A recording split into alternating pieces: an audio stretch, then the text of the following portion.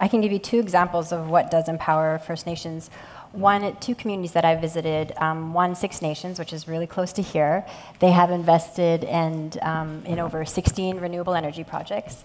Um, and that means, in some being majority owned, large scale wind, large scale solar. That means generating revenue upwards of $5 million annually already now.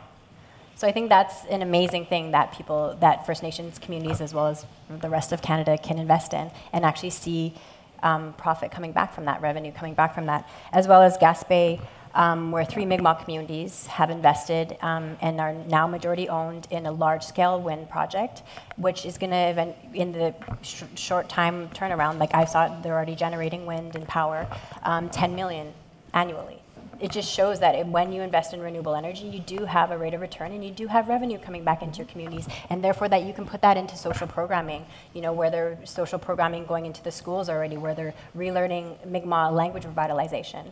Um, so, I, and also Run of the River in Squamish, and so I think there's just so many amazing examples of communities already generating revenue um, and and also not contributing to climate change at the same time.